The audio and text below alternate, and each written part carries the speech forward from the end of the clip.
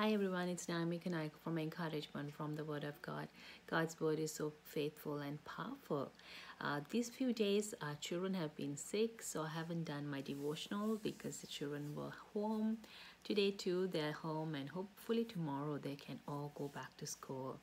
Uh, it has been a cold and uh, cough that they've been having, and uh, praise God, they're getting better. And my son, eldest son Jason, has escaped it, and I'm hoping that he will not catch it as well, and uh, that they all three will be able to go to school tomorrow. I want to encourage you with the word of God. God's name is powerful. When you're going through difficult time, when you're going through struggle, always remember the power that is in the name of Jesus.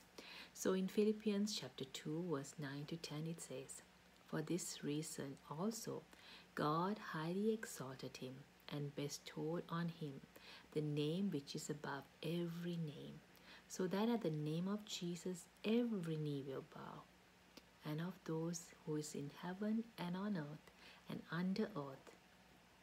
There is power in the name of Jesus. Every knee will bow.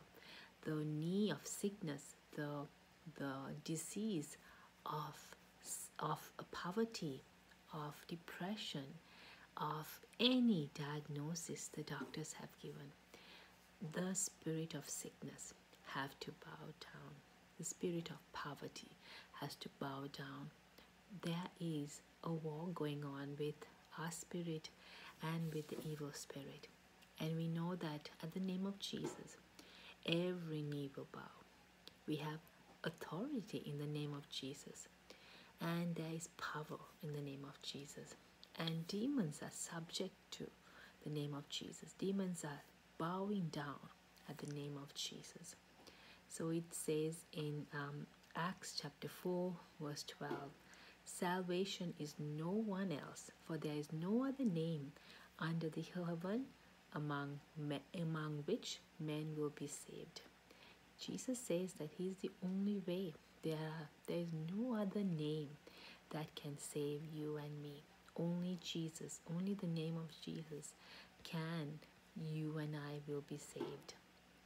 And our Lord Jesus gives us instructions and tells us to obey and put on the full armor of God. In Ephesians chapter 6 verse 11 to 13 it says, Put on the whole armor of God that you may be able to stand against the schemes of the devil.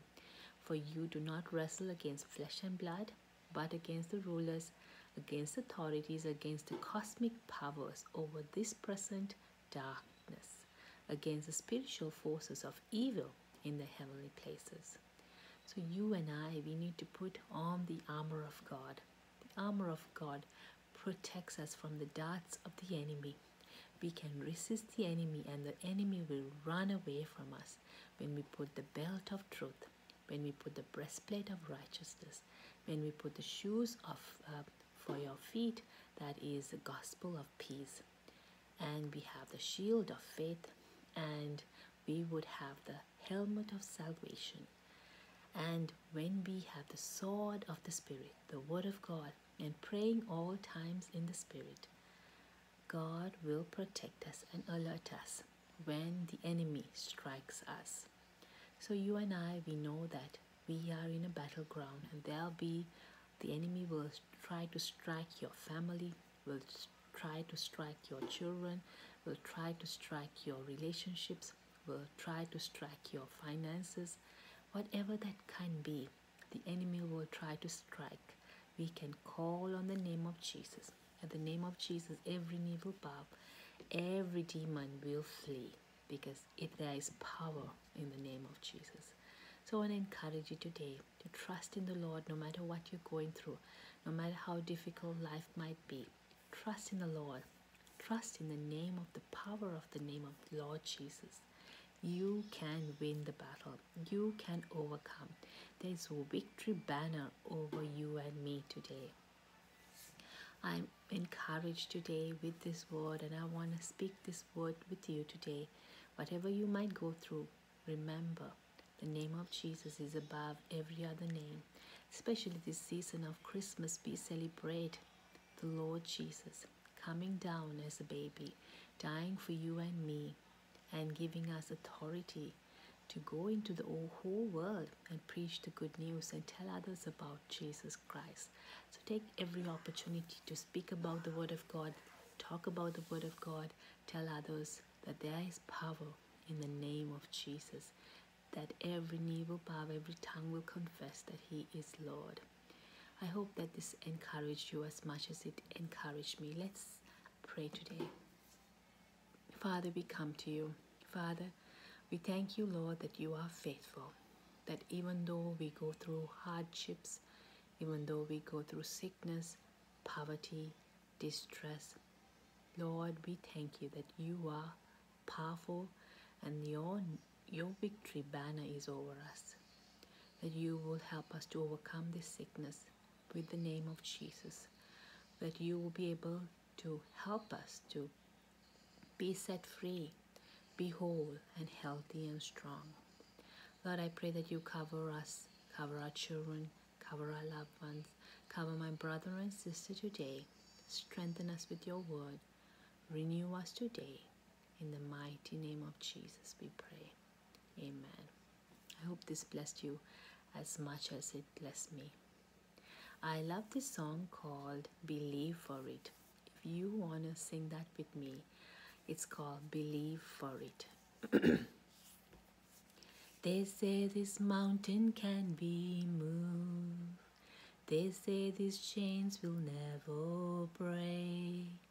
But they don't know you like we do. There is power in your name. We've heard that there is no way through. We've heard the tide will never change. They haven't seen what you can do. There is power in your name. So much power in your name. Move the unmovable, break the unbreakable. God, we believe. God, we believe for it. From the impossible, we'll see a miracle. God, we believe. God, we believe for it. We know that hope is never lost, for there is still an empty grave. God, we believe that no matter what, that there is power in your name, so much power in your name. Move the unmovable, break the unbreakable. God, we believe. God, we believe for it. From the impossible, we'll see a miracle. God, we believe. God, we believe for it. I hope this blessed you as much as it blessed me. We know that there is power in the name of Jesus, that every knee will bow, every tongue will confess that He is Lord. No enemy's plan or plot can come against you or your family because you are covered under the banner of the name of Jesus. I hope this blessed you as much as it blessed me. Have a wonderful day, my brother and sister. Encourage one another today with the word of God that at the name of Jesus, every knee will bow. There is power in the name of Jesus. Encourage yourself today. Encourage your soul today. In Jesus' name. Have a good day. Bye.